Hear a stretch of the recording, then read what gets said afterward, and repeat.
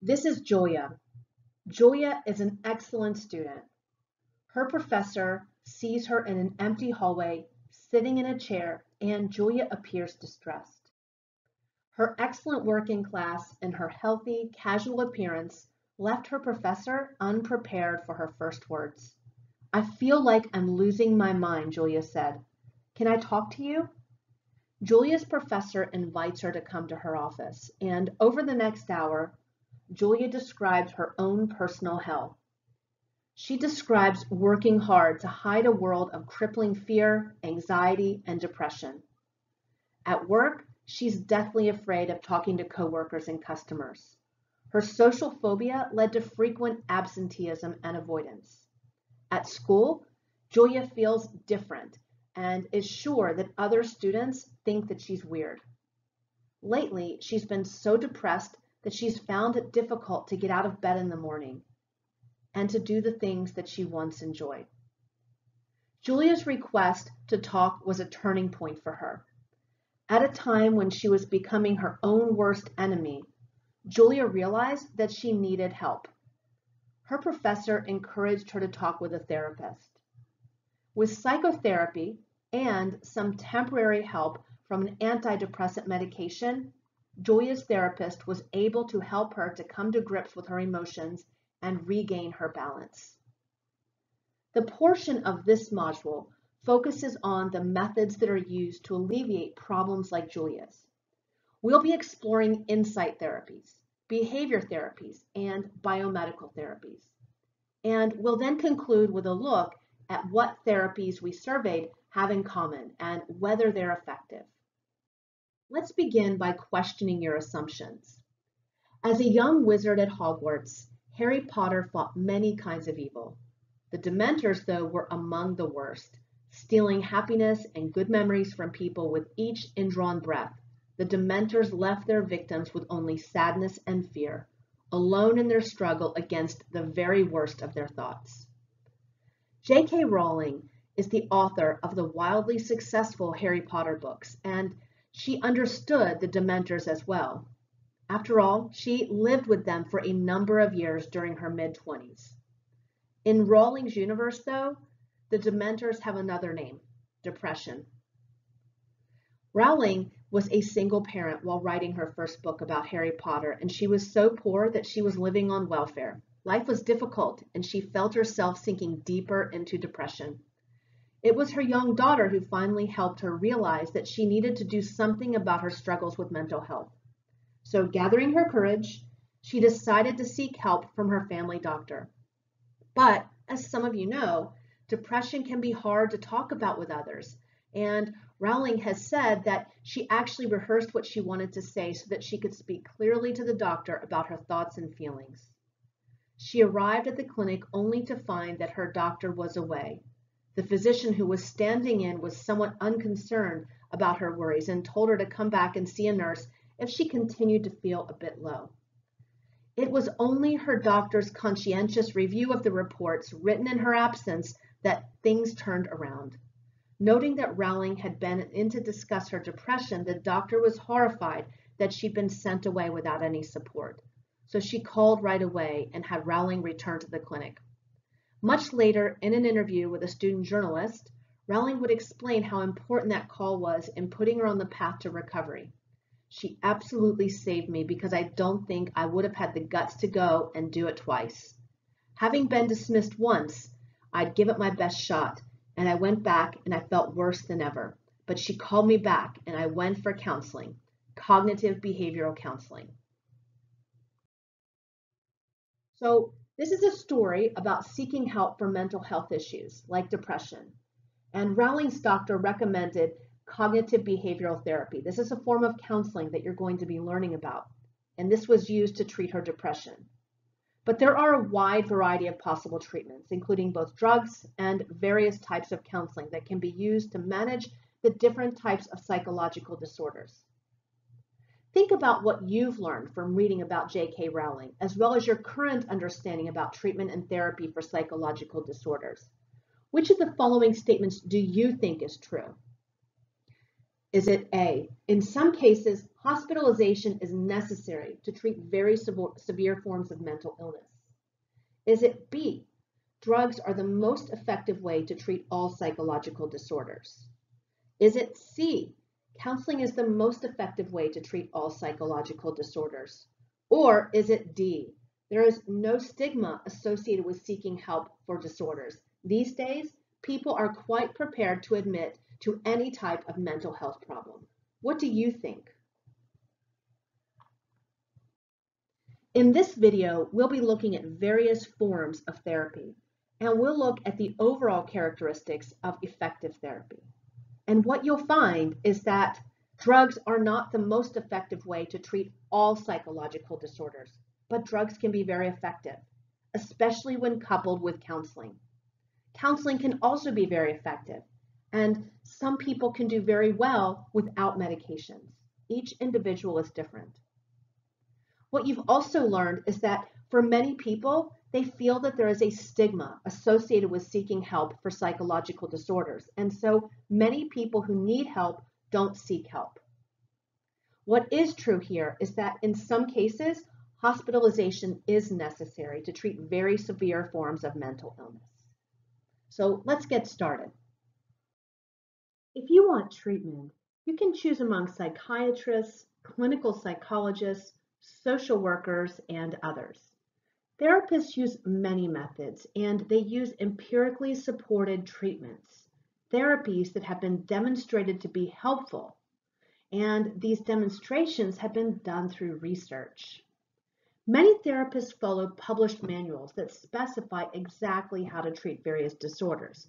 And because insurers limit the number of sessions that they'll reimburse for a given client, therapists have worked to develop briefer therapies where they can accomplish as much as they can in a moderate number of sessions. There are three main categories of therapy. These include insight therapies, behavior therapies, and biomedical therapies. In this video, you're going to be learning about each of these categories of therapy. Before we begin looking at the various types of therapy, I wanted to share with you who tends to seek treatment. And what you'll notice here is that in regards to marital status, utilization rates are particularly high among those who are divorced or separated. The use of therapy is greater among those who have more education, and in terms of age, utilization peaks in the 35 to 44 age bracket.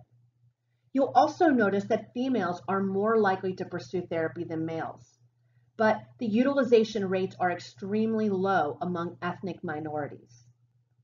So I'd ask you to think about this. Think about who tends to utilize therapy and think about why. Why do we see more women utilizing therapy? Why do we see people who are within a particular age group, 35 to 44, being in the peak utilization group? And why do we see that utilization rates are particularly high among people who are divorced or separated? And then finally, why do you think that utilization rates are extremely low among ethnic minorities? What can we do to increase utilization rates? so that people who need help seek the help that they need. Let's begin by looking at insight therapies. Insight therapies involve verbal interactions that are intended to enhance clients' self-knowledge and promote healthful changes in personality and behavior.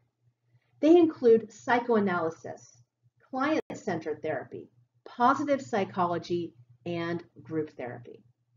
Let's begin by looking at psychoanalysis. Psychodynamic therapies attempt to understand conflicting impulses, including some that the person doesn't consciously recognize. We often think of Sigmund Freud when we think about the psychodynamic perspective. And here in this image, you'll see a picture of Freud's couch. And this is in Vienna, Austria. And what's really interesting is that his couch became so famous that there was a company in New York that decided at the time that they were going to manufacture what they called psychoanalytic sofas. And these were sofas that shouldn't be too hard, they shouldn't be too soft, they needed to be just right. It kind of reminds me of Goldilocks and the Three Bears. So just right so that the patient doesn't fall asleep, but they feel comfortable. And it's important for the patient to feel comfortable because what we're trying to get at here is what's going on in the unconscious. And a person needs to be relaxed. They need to feel like they're not being judged. And so when a person would come to see Freud or other psychoanalysts, you'd find that that person is not going to be even facing that psychoanalyst. They're likely going to be looking the other way so that they're just saying whatever is coming to mind. We might also think of Alfred Adler. You learned about him when you learned about personality. And if we were to focus on Alfred Adler, what you would find is that he would look for power and superiority motives that were in the unconscious, whereas Freud was focusing on sexual motives. And even though these approaches have different goals, in terms of what they're looking for, they're both psychodynamic because the focus is on the unconscious. So psychodynamic therapists or psychoanalysts use what's called psychoanalysis. And this approach tries to bring unconscious thoughts and emotions into consciousness. So this is an insight-oriented therapy. Psychoanalysts offer interpretations of what the client says that is, that they try to explain the underlying meaning, and sometimes they might have some conflict and discussion with the client about these interpretations. And when they do this, they may regard a client's disagreement as resistance. So for example, a client who's begun to touch on an anxiety provoking topic may turn the conversation to something trivial. So they might change the subject or they might simply forget to come to the next session. But people like Freud would say that there are no accidents. You don't accidentally forget your appointment. At some unconscious level, you didn't want to come to the appointment because perhaps you were accessing things in your unconscious that were uncomfortable and you're trying to protect yourself from what's being revealed. So when a client is doing this, when they're changing the subject or they're forgetting to come to the next session, this is called resistance. And the psychoanalyst is going to want to analyze this resistance. Another technique is what's called dream analysis. And this is an attempt to seek to understand the symbolism that's reported in dreams. And even a therapist who doesn't look for deep symbolism can use dreams to understand how the client understands the world. Psychoanalysts also attend to transference. And this is where a client transfers onto the therapist the behaviors and feelings that they originally established towards their father, their mother, or other important people in their lives. Today, psychoanalysts modify Freud's approach in many ways, the goal is still to bring about a reorganization of the personality, changing a person from the inside out by helping that person to understand the hidden reasons behind their actions. So here we have instead of why did the chicken cross the road, it's why do you think you need to cross the road? Humanistic psychologists also use an insight approach. And they believe that people can decide deliberately the kind of person that they want to be. So all of this is happening within our consciousness, very different from psychoanalysts or that psychodynamic perspective. So the humanistic therapist believes that once people are freed from a feeling of rejection or failure, they can solve their own problems. Think about yourselves. Do you think that when you are fearful of rejection or you're fearful of failure, that that can hinder your ability to solve your own problems. How helpful would it be for you to be freed from rejection or failure fears? And if you have those feelings, think about how they have hindered your own ability to reach your own potential. And so the humanistic psychologist is focusing on ultimately helping you to reach your fullest potential. If you'll remember Maslow, Maslow focused on his he had his interest in people reaching their fullest potential by becoming self-actualized. And you'll remember that to be self-actualized is to be all that you can be. And he came up with that hierarchy of needs. You'll also remember that not many people are self-actualized, but over time, we can overcome or we can meet those lower level needs and then higher level needs within the hierarchy. And it then becomes easier for us to reach our potential. And some of those needs involve things like our need for feeling good about ourselves, our need to feel like we belong.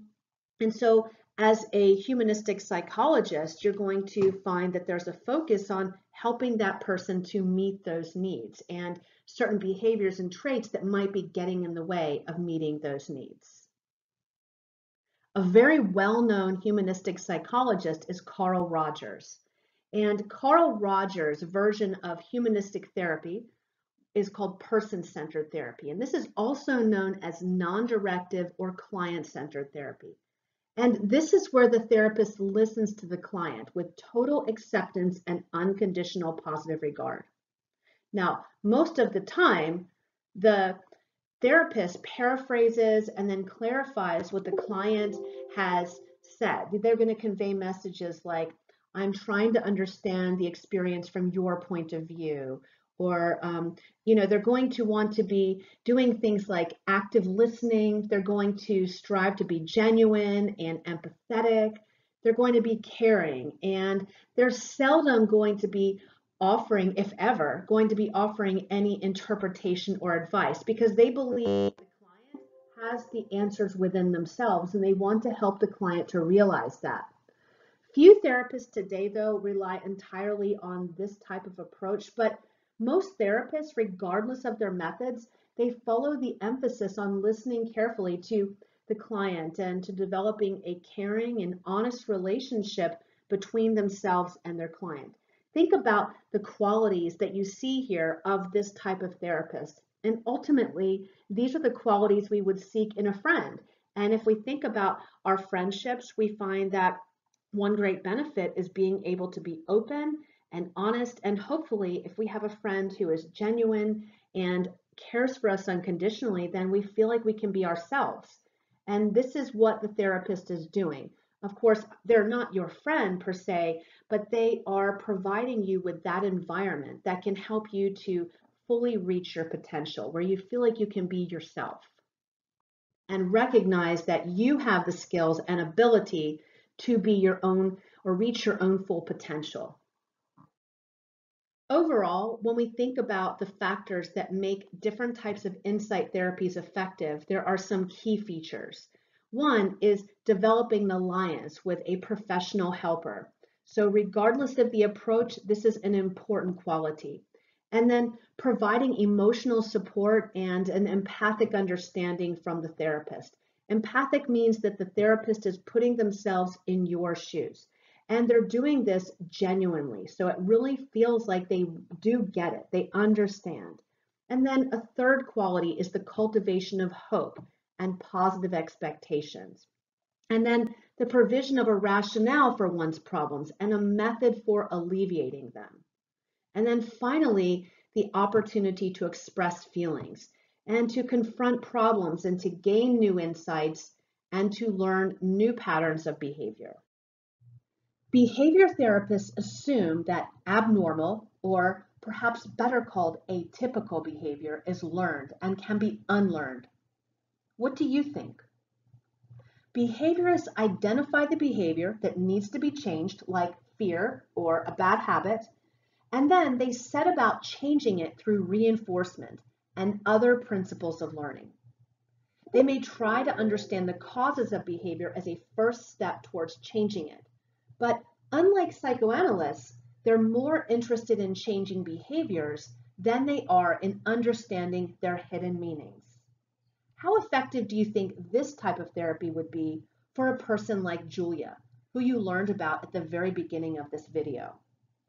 If you were seeking therapy, would you prefer to gain insight or would you prefer to focus on changing behaviors?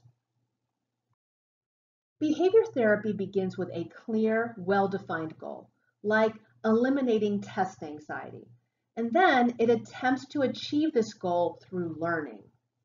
Setting a clear goal allows both the therapist and the client to judge whether the therapy is succeeding. If the client shows no improvement, then the procedure can be changed. behavior therapies utilize classical and operant conditioning principles. As you'll remember, when we think about classical conditioning, we can think of classic examples like Pavlov's dog and little Albert. As we think about operant conditioning, we can think about Skinner and the pigeons. Remember, Skinner focused on reinforcement and punishment. So think for a moment about how you could use reinforcement or punishment to change behaviors that may not be adaptive. And think about how the principles of classical conditioning could also be used. So here's an example. We could use classical conditioning to train a child who continues wetting the bed after the usual age of toilet training we could train them to wake up when the bladder is full. So this approach is actually pretty simple. A parent or caregiver purchases a bedwetting alarm, which actually came about many years ago, almost three quarters of a century ago.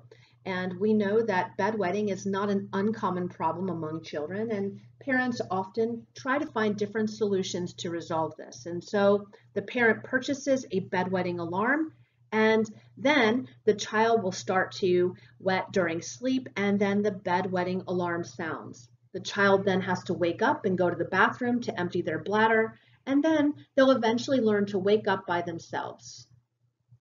Now, the point of this, though, is not to teach the child to wake up during sleep. It's actually intended to teach the child to identify the sign from the bladder to the brain.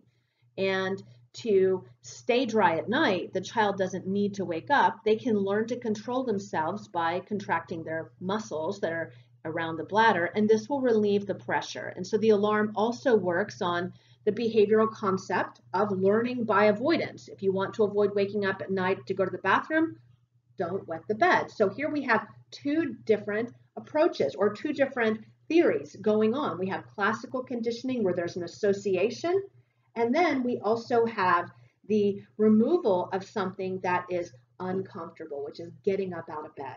And so we have negative reinforcement.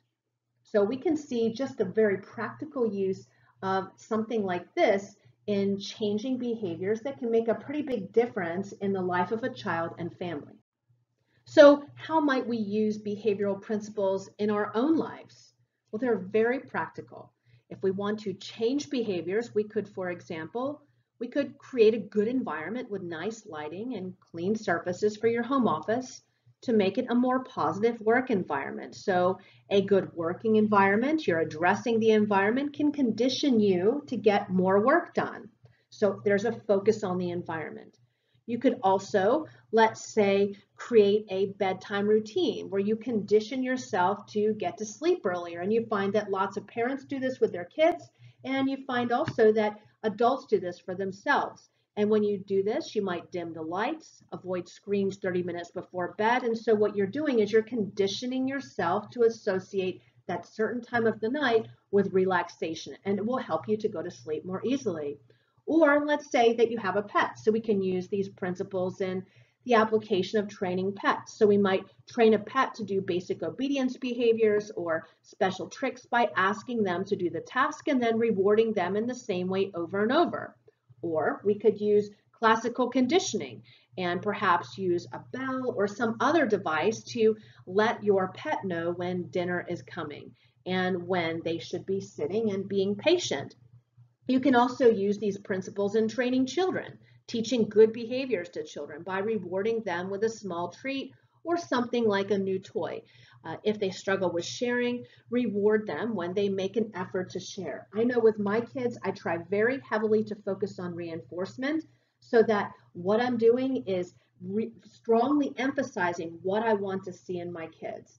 And Although I do use punishment, I try to minimize the use of it. What research suggests is that, yes, punishment can tell us what not to do, but if we really want to train people to do what is healthy and what we want them to do, we need to focus on reinforcement. Punishment only tells us what not to do. So behavioral interventions, behavioral therapies focus on reinforcement.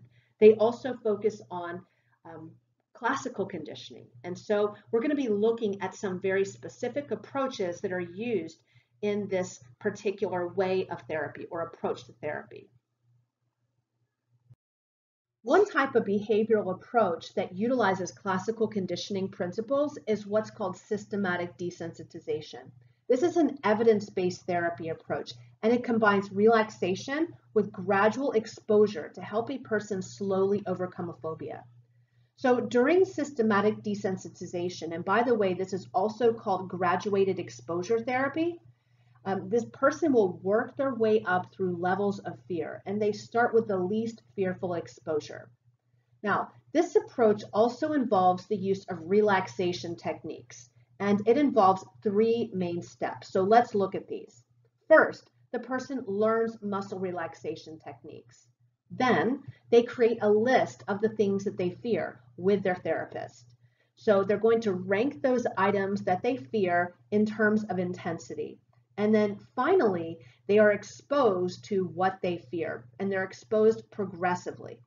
So classical conditioning is that underlying theory behind the process. You're creating a new association. And the goal is to overcome a phobia by replacing feelings of fear and anxiety with a state of calm.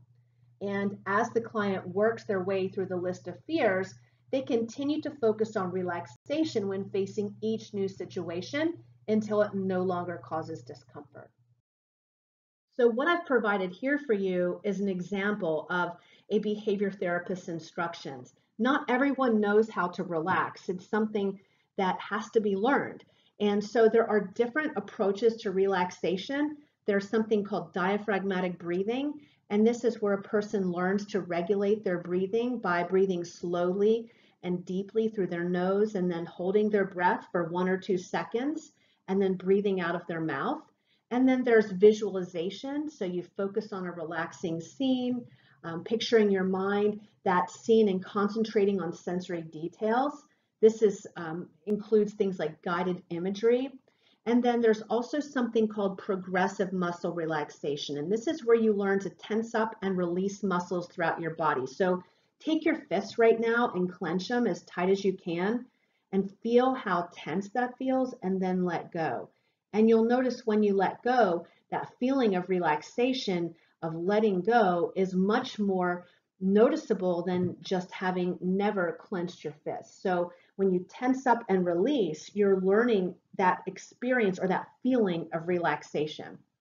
And then there's also meditation and mindfulness. And learning meditation can help people to be more aware of their thoughts and their feelings and then mindfulness is where you notice what you're experiencing in the present moments. And that can really help, be helpful in reducing anxious thoughts. So different approaches that therapists can take in training and relaxation. Here's one that I've provided for you. This is a, uh, a script that a therapist might read, or they might say something similar to this. So let all your muscles go loose and heavy. Just settle back quietly and comfortable wrinkle up your forehead now. And I won't read through this, but I wanted you to get the gist that you can see as you read this that it's very specific and there are, you know, the, there are specific instructions being provided to the client to guide them through that process. And here it continues. And for those of you who don't know how to relax, you've not practiced this, this is something that's helpful outside of systematic desensitization, of course, it can be very helpful before taking a test. Research suggests that when we're anxious, when we're stressed, it can make us more forgetful. It can affect our ability to focus. And so doing relaxation exercises like this before a test can be very helpful in improving cognition and improving test performance. So if you have test anxiety, relaxing beforehand and using specific strategies can be helpful. I'd encourage you to uh, to do a search on YouTube or just an overall online search for some, some suggestions or strategies to do this. And I'd also put some of these on our course website as I had sent an email out to you all about that. I think it was within, um, perhaps it was within your personality chapter. I can't recall which module I put that in, but I would encourage you to take a look at that handout as well. There's some great tips for you. So these are some great instructions, very useful. And again, that therapist's first step is providing relaxation training. After the client learns these relaxation techniques, with their therapist, they develop a fear hierarchy for what they have a phobia of. And this hierarchy typically involves at least 10 levels of fear. So first, the client will identify what they feel is the most frightening level of their fear. We could call this a level 10 fear, or in this image, we could call it a level 100 fear. Next, what the client is going to do is identify the least frightening level of their fear, or the level one fear. And then the client will list the levels in between and rank them by the amount of fear that they trigger. So, for example, seeing a photo of what you fear might be a level 30, okay? But actually touching the thing that you fear could be a level 90 or 95. And then next, with the therapist, the client will develop ways to expose themselves to each level of the fear. And then this is done so gradually.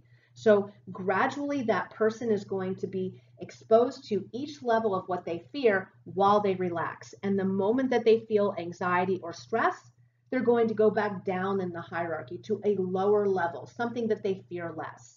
And then once they feel calm, they move back up the hierarchy until they're able to get to the top of that hierarchy and experience that fear with feelings of relaxation. So you see, this is straightforward classical conditioning. And here's an example of the use of systematic desensitization to help a client to overcome the fear of snakes. You'll see that in the upper left-hand corner, the person is looking at an image of a snake, and then they are holding an image of a snake. And then there is a snake that is in front of them, and so forth. And you'll notice that you could actually measure the pulse rate in beats per minute while the person is exposed to each level of this hierarchy. Now remember, that person is going to be simultaneously practicing those relaxation techniques. And the moment that they begin to fear, feel anxiety or experience distress, then they're going to be moving back down the hierarchy until they can feel relaxed, and then they move back up. Another behavioral approach to therapy is what's called aversion therapy. And this also utilizes the principles of classical conditioning, where you're trying to create a new association. In the case of systematic desensitization, you're trying to create an association that is positive so that the person doesn't have the fear of whatever it was that they've been fearing. With aversion therapy, you're doing something very different you're wanting to create an aversion or a dislike of something that you want the client or the client themselves wants to stop. So typically, this type of therapy is used to help a person to give up a behavior or a habit by associating that behavior or habit with something that's unpleasant. And it's most known for treating people with addictive behaviors, like those that are found, for example, in alcohol use disorder. So most of the research on this type of therapy has been focused on its benefits related to substance use and abuse. Now, I will say that this type of therapy is controversial and the research is fairly mixed. And this is not often the first line treatment, and there are other therapies that can be used, but this is a therapy that is utilized. And it can be effective, especially in treating addictive behavior. So how does it work? So remember, as I said, aversion therapy is based off the theory of classical conditioning. And remember, classical conditioning is when you automatically learn a behavior due to a specific stimuli. In other words, you learn to respond to something based on repeated interactions with it. And so aversion therapy uses this concept and it focuses on creating a negative response to an undesirable stimulus, like drinking excess amounts of alcohol, or using drugs. And so again, many times in people with substance use disorders, this can be utilized. It can be very effective. Sometimes it's not effective for clients, but it can be effective. And so what's happened with people who have substance use disorders is that their body has been conditioned to get pleasure from the substance that they've been abusing.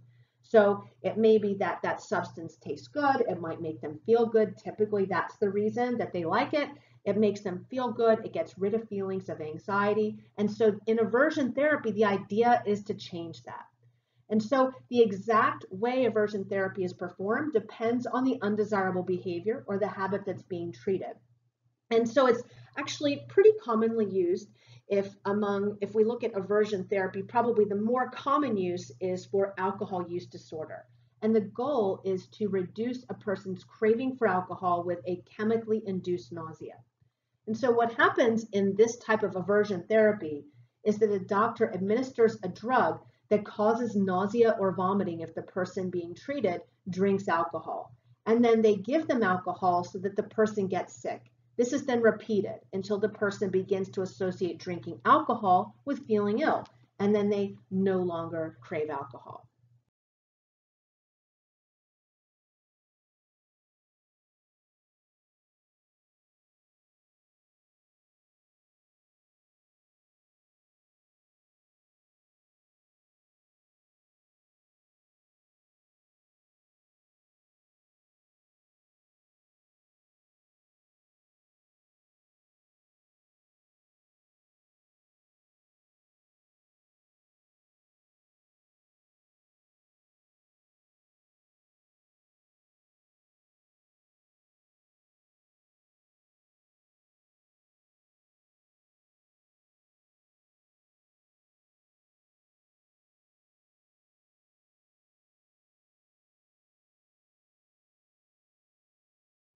Modeling is another approach that utilizes behavioral principles. The focus here is on learning. So the individual learns through observation and imitation of others.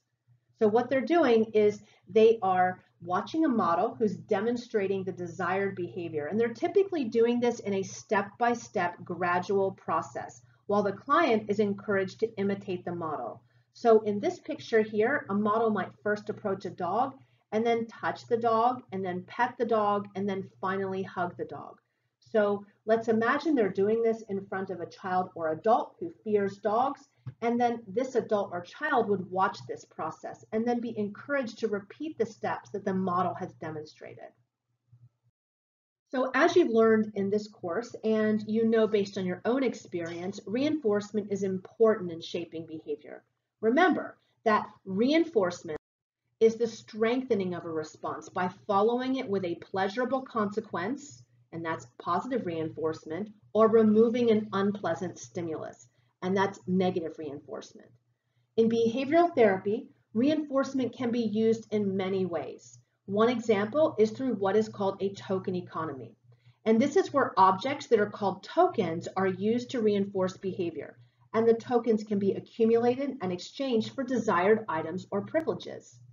You all may have experienced token economies when you were in elementary school and you engaged in what the teacher thought was a desired behavior. Perhaps you were behaving, you turned your homework in on time, you had neat handwriting, whatever it might be, and then you earned tokens. And those might be in the form of stars or stickers or points, and then you could trade those in for treasure, something in the treasure box, or something that she had that was of value that had a certain amount of points attributed to it. So token economies have also been used successfully in modifying the behavior of people who have severe mental illness, and even in those who are in mental hospitals. This can include, for example, people with schizophrenia or people with major depression. Another example of the use of reinforcement is through what's called a contingency contract. This is a formal written agreement between the therapist and client, or it could be a teacher and a student, or it could be between two couples where a couple or with where goals for behavior change, reinforcements and penalties are very clearly stated so that each couple understands or each partner in the couple understands what the other expects and wants so that, for example, let's say that household responsibilities have been something that the couple argues about. So having a behavioral contract where it's understood what each person's responsibilities are can be very effective. Between teacher and student, you could use these same principles. You can use these principles in a variety of situations. Another approach to therapy focuses on thinking.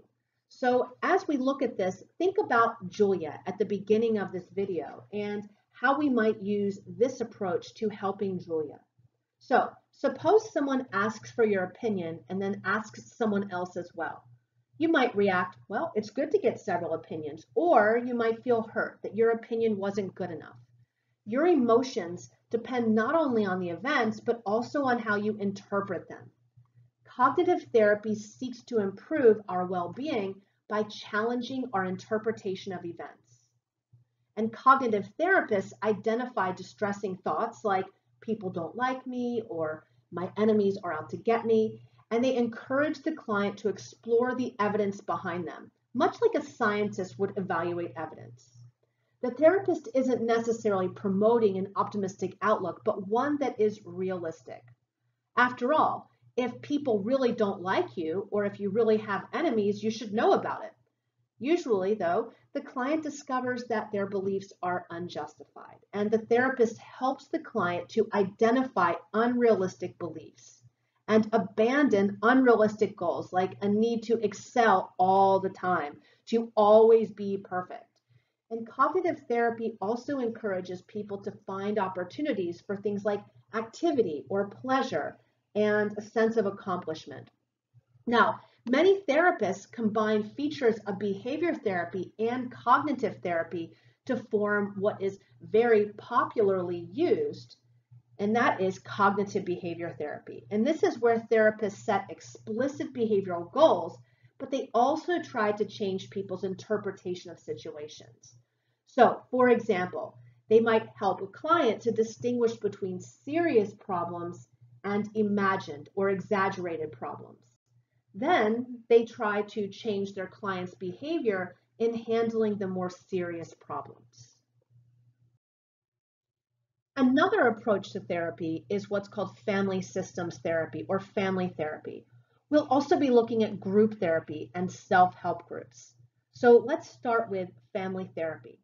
The guiding assumption here is that most people's problems develop in a family setting and that the best way to deal with them is to improve family relationships and communication. So a family therapist may use behavior therapy, cognitive therapy, or other techniques. So what distinguishes family therapists is that they prefer to talk with two or more members of the family together. And solving most problems requires changing the family dynamics and any individual's behavior. Group therapy is administered to several people at once. And while the pioneers of psychotherapy saw that clients individually benefit from individual therapy, there are also, and there are many benefits, of course, like privacy. Having group therapy can have many benefits. Now, it first became popular because of economic reasons, where you're spreading the cost among several people, and this can make it more affordable. And then soon what happened was that therapists discovered that there are other advantages to group therapy. Like just meeting other people with similar problems can be reassuring. Think about Julia. Do you think she could benefit from group therapy? Group therapy also lets people examine how they relate to others. It helps them to practice social skills and to receive feedback. Let's now look at self-help groups. One that you might think of is Alcoholics Anonymous, and this operates much like group therapy except without a therapist. Each participant both gives and receives help, and people who have experienced a problem can offer special insight to others with the same problem. In some places, people with mental health issues have organized self-help centers as an alternative to mental hospitals. And these small home-like environments can, can sometimes include professional therapists, though sometimes they may not. And instead of treating people as patients who need medical help, what they do is they expect people to take responsibility for their own actions. For most types of disorders, um, these facilities can produce results that are um, can be very effective and the clients often like them better than they would if they were in a more um, significant facility or a more serious facility like, a, um, of course, a mental hospital. So think back at Julia. Do you think she would benefit from any of these approaches? And which of these do you think she would benefit the most from and why? Or do you think she might benefit from all of them? So what is it that makes therapy effective? Well, it turns out that the effectiveness of therapy is more determined by the underlying qualities than it is by the specific approach. So there are specific approaches, though, that may be more effective given certain types of issues or problems that a person is seeking therapy for. But the effectiveness of therapy has a lot to do with what's called a therapeutic alliance. This is a relationship between the therapist and the client that's characterized by things like acceptance, caring, respect, and attention. Another important aspect of therapy that you can reflect on and think is going to be present in each of these is that clients can talk openly about how they're feeling and about their personal struggles. Each of these therapies is going to be effective if the person can examine aspects of themselves that they usually take for granted. And then entering therapy improves clients' morale. And so regardless of the type of therapy, just taking action, any action, suggests that things will get better. It provides a sense of hope. And then every form of therapy really requires clients to commit themselves to change their lifestyle or some aspect of their lives. Simply by coming to a therapy session, they are reaffirming their commitment to feel, in the case of Julia, less anxious or less depressed, to overcome their fears. And in the case of someone who has an addiction, to conquer some bad habit and often to conquer or to overcome those feelings of anxiety or depression. And then between sessions, the client will work to make progress so that they can report at the next session. In addition to insight and behavioral therapies, another approach is a category called biomedical therapies. These are physiological interventions that are intended to reduce the symptoms associated with psychological disorders. As you learned about the history of the treatment of disorders, early biomedical interventions were inhumane and they violated the rights of patients. They included such things as lobotomy and insulin shock therapy, just to name a couple. Two prominent biomedical therapies today are drug therapy and electroconvulsive therapy. We're also going to be looking at a couple of additional ones. One is transcranial magnetic stimulation, and another one involves stimulating the vagus nerve. Many times students are surprised to learn that electroconvulsive therapy is actually used today, but it is. And it's a medical treatment that's most commonly used in patients who have severe depression or bipolar disorder that hasn't responded to other treatments. This type of therapy involves a brief electrical stimulation of the brain while the patient is under anesthesia and it's typically administered by a team of trained medical professionals that include the patient's psychiatrist, an, an anesthesiologist, and typically a nurse or a physician assistant. Because with any type of medical intervention that involves anesthesia, there are risks. There's a lot of research that shows how effective ECT can be in helping people who have major depression. And as I mentioned, this is used when someone has not responded to other types of treatments. It's also useful in helping people with bipolar disorder, and it's also useful in helping people sometimes who have schizophrenia. I want to point out that among people who have depression, ECT has been shown to produce improvement substantially in about 80% of patients. Interestingly, ECT is sometimes used in treating people who have what's called catatonia or you may have heard the term catatonic. And this is where a person can be very agitated or on the other end of the spectrum, unresponsive. And a person who has catatonia can seriously injure themselves, or they can, when they're unresponsive, develop severe dehydration from not eating or drinking. And so ECT is typically used when other treatments like medications and psychotherapy for this person haven't worked. This can also be useful in helping people who need rapid treatment response because of the severity of their condition, like being at risk for suicide.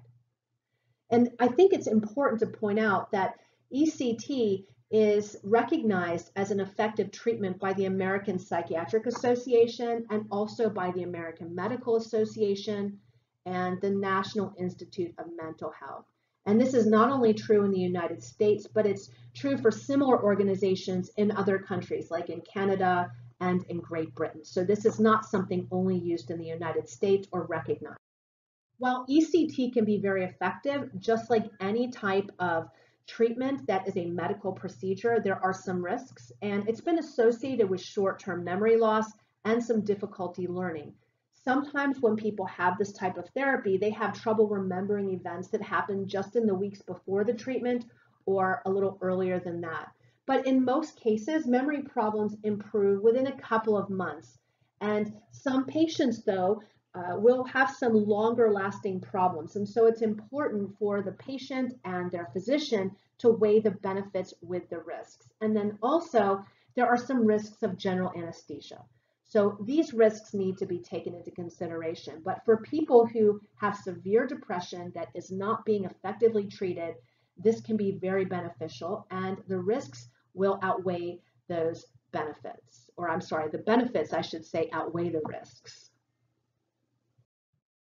A very interesting approach that some of you may not have heard about is what's called transcranial magnetic stimulation. And this is used to treat depression that hasn't responded to other therapies. And what it involves is the use of rapidly alternating magnetic fields that stimulate specific areas of the brain. Now, ECT, the way that it works is it causes a seizure. And this works differently though, because it does not cause a seizure and the patient is awake throughout this process. So the person does not have to have anesthesia. So there's a reduced risk. This type of therapeutic intervention tends to have only very mild side effects. So the person won't experience the issues of memory problems or learning difficulties. And remember with ECT, these are typically short-lived, but for some they are longer-lived. And so there are only pretty mild effects in terms of side effects from this type of therapy. And a person might have headaches or some um, pain at the stimulation site, but it can be very effective. So those side effects are often seen as worthwhile because the benefits can be so great. And this type of therapy is usually given about four to five times a week for four to six weeks. Now, another approach is what's called vagus nerve stimulation. And this was originally developed as a treatment for seizure disorders. And what researchers found was that people who were getting this treatment also, who also had depression, were experiencing some relief. And so this is now used in some patients who have depression that hasn't responded to other therapies. And what it involves is it involves implanting an electrical pulse generator under the skin in the patient's chest that provides intermittent electrical stimulation to what's called the vagus nerve in the neck. And um, this particular type of therapy is believed to work by using electricity to influence the production of, of brain chemicals, you know, the, what you've learned about neurotransmitters. And so, as you all know, depression has been tied to neurotransmitters. And so uh, there's the belief that that's how it's working. Now, there's no physical involvement in the brain in this surgery, and for people who experience this approach, they are not going to feel those pulses. And what's I think so interesting is that a person may experience activation when they're in the operating room, when they're getting this device, but they can also stimulate the device themselves. That's very interesting, I think. And so the person can um, stimulate the device using low level stimulation and then what the, the physician will, um, ad, will adjust the level of stimulation that the person can experience. And this is modified based on what is going to make sense for that person. And so um, patients actually will have what's called a handheld magnet and they will control this stimulator at home. And this has to be activated by a doctor.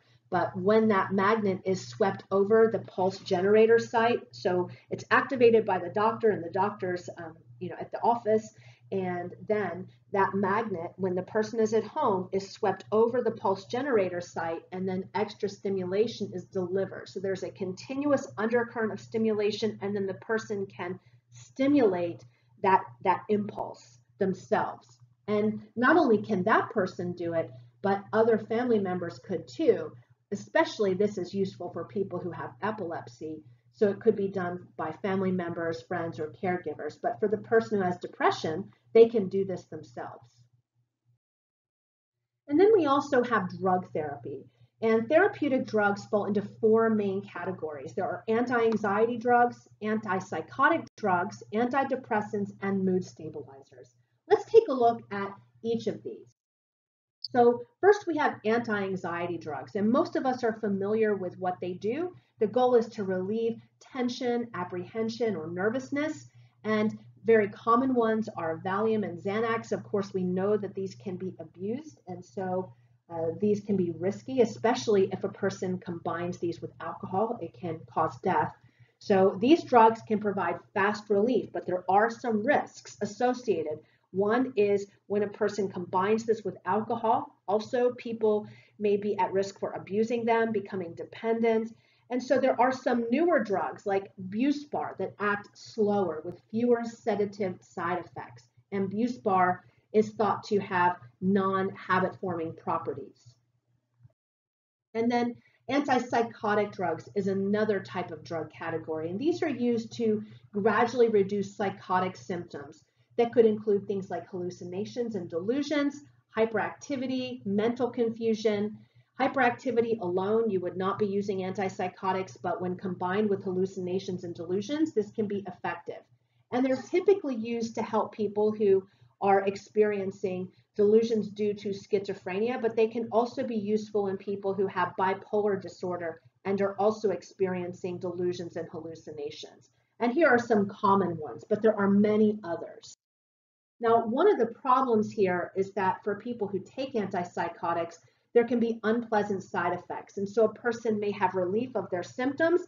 They maybe are no longer having hallucinations or delusions, or those symptoms are dulled then what happens is they the person feels like they're getting better and they don't like the side effects and so they may get off of their medication and then we see a return of those symptoms and this is where you might see people who have been effectively treated with antipsychotics doing well then they get off of their medication and they may end up needing to return to a mental health facility I know that when I've watched television and I've seen advertisements for drug therapies I've noticed that some drug therapies are advertising or advertised as having a risk for the development of what's called tardive dyskinesia. And this is a chronic neurological disorder where a person has chronic tremors and involuntary spastic movements. And this is irreversible. And some of the older antipsychotic drugs produced a greater risk of development of tardive dyskinesia. But the newer ones, the atypical antipsychotics, have a lower risk of these side effects. So drug companies have been continuously working to develop drugs that have a reduction of these very significant side effects that some people will experience. And of course, we have antidepressants, and this is probably one of the most popular category of drugs, and they gradually elevate mood. It can take a few weeks to a couple of months for a person who is going to experience benefit, if it is going to be the right drug, for them to feel the benefit of that antidepressant. The most commonly used antidepressants today are what are called SSRIs. These are selective serotonin reuptake inhibitors. And what they do is they affect serotonin. One that you may have heard of is Zoloft. Now, this drug or these this category of drugs can also be useful in helping people who have some some type of anxiety disorder. Some of the side effects though that may lead people to choose not to use antidepressants, especially if um, the side effects are severe, are weight gain and sleep problems and sexual dysfunction. And so sometimes there are medications that a person may benefit from that they can take in combination with their SSRI that can reduce some of these side effects, especially the sleep problems and sexual dysfunction. And more recently, as some of you may know, there's been some increased concern that this class of drugs might increase the risk of suicide in adolescents. And the newest class of antidepressants are what are called SNRIs, and these work on serotonin and norepinephrine receptors. And these are thought to, based on the research, produce stronger antidepressant effects than the older SSRIs. But there may also be more side effects. And so again, just like with any therapy, the risks have to be, be weighed with the benefits. And then we have the category of mood stabilizers, and these are used to control mood swings in patients who have bipolar mood disorders. And lithium is one that has been used for many years to treat bipolar disorder, but there are many dangerous side effects, including toxicity or death if the person gets the medication at high concentrations. And so a person has to regularly visit their doctor to get blood work done to make sure that there is uh, no toxicity. And they also need to be looking at their blood pressure because a person who takes lithium is at an increased risk of developing stroke. And they should not go off of lithium on their own because this can also increase one's risk of having stroke. And then we have some newer mood stabilizers that some of you may have heard of, like valproate, and this is um, seems to be just as effective as drugs like lithium, but has fewer side effects. So overall, we know that drugs can provide for many people the relief of symptoms from severe disorders that can't be helped by other therapies. Sometimes people may not have severe mental health issues, but they may benefit still from these drugs and they may be temporarily on these drugs while they go through therapy. So sometimes drugs can be effective when a person's going through therapy and then the person may not need to be on the drugs anymore. For others, they may need to be on those medications for the rest of their lives. So some people argue that drugs only treat symptoms, but not the underlying causes of disorders. But when we think about the biology of disorders, it would only make sense that just like any physical ailment, that a drug can be effective. And some argue that drugs are overprescribed and that people are overmedicated. And there may be some truth to this, but many people report tremendous benefit from taking these medications. And also, I do want to point out that there are only a couple of countries in the world that allow for the advertising of pharmaceuticals and that's the United States and New Zealand. So some argue that it's because of these advertisements that people are taking more of these drugs and that otherwise they may seek alternative approaches to therapy. Side effects, some people argue, might be worse than the symptoms that the drugs are used to treat, especially if we think about, for example, the older class of antipsychotics, which for some people could leave them with those severe tremors, that tardive dyskinesia. Overall, though, what you'll find when you talk with people who use medications to treat depression or anxiety is that many people, when they find that right medication, feel that they are freed from those symptoms, especially when they combine that drug with therapy. What's interesting to note, though, is that researchers are looking forward at new approaches to treating disorders that are also biomedical interventions, but instead of using a drug that a person may take every day, there may be other approaches, including genetic modification or including stimulation of the vagus nerve, as you learned, or other approaches. So it will be interesting to see where we go in the future with medications and biomedical interventions in general. Psychotherapy began as a form of one-on-one -on -one dialogue between therapists and their clients meant to yield insight. Today, therapists have many approaches from which to choose. And as you learned, each therapy emphasizes different concepts and methods. For this reason, the best approach for a particular person or problem may vary. In this video, you learned about insight approaches to therapy. Freud's initial intent in developing psychoanalysis was to provide patients with an insight therapy that could resolve psychological problems by gaining a conscious understanding of previously unconscious psychodynamic conflicts. A psychoanalyst might use free association and dream analysis to help Julia, who you learned about in the beginning of this video, to realize that her anxieties originate, say, in an unconscious fear of dying. Julia was approaching the age at which her aunt died prematurely of a heart attack 22 years ago. Psychoanalysts expect that this insight will discharge Julia's unconscious pressures and alleviate her general sense of anxiety. In contrast, you learned about behavior therapy, cognitive therapy, and cognitive behavioral therapy. We can call these action therapies, and this is because they generally focus on directly changing troubling thoughts and behaviors. In this video, you learned about behavioral approaches that are based on the principles of operant and classical conditioning. You also learned about cognitive behavioral therapy, which incorporates both the behavioral approach and one that focuses on challenging maladaptive thinking. A behavioral therapist would spend little time on why Julia felt anxious. Rather, she might help Julia learn some relaxation techniques to directly relieve her anxieties when they got too strong. A cognitive behavioral therapist would focus on helping Julia to learn some relaxation techniques to relieve her anxieties when they got too strong and challenge the irrational thoughts that might be contributing to her anxiety. Psychoanalysis can be thought of as a directive therapy. And this is where the therapist leads the patient through the therapeutic process. So based on her analysis of Julia's free associations and dreams, her psychoanalyst might direct Julia's awareness towards her unconscious fear of dying. Without this direction, Julia might resist gaining the insight needed to overcome her anxiety. But in an approach that's non-directive, and you learned about some of these approaches, the role of the therapist is to create the conditions under which the client can resolve their own psychological issues.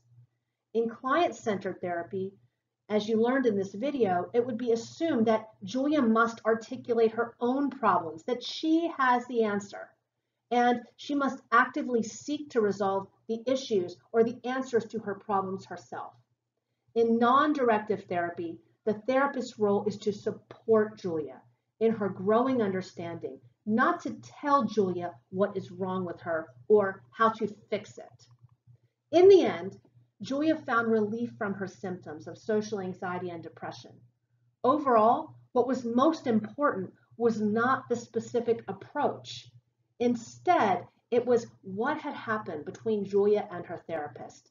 They had formed a therapeutic alliance, a relationship that was characterized by acceptance, caring, respect, and attention. Julia was able to talk openly and honestly about her beliefs, her emotions, and her personal difficulties. She was able to examine aspects of herself that she had previously taken for granted. Simply taking action began to improve Julia's morale and she developed a commitment to change. If after watching this video or after reading the chapter you have any questions, as always, please don't hesitate to reach out to me. I've provided a link on our course site to the Northeast State Counseling Services Center. I'd encourage each of you, if you're having any feelings of anxiety, depression, or if you're experiencing stress or anything that's distressing you, I'd encourage you to reach out to that free resource. I wish all of you the best. Please let me know again if you have any questions.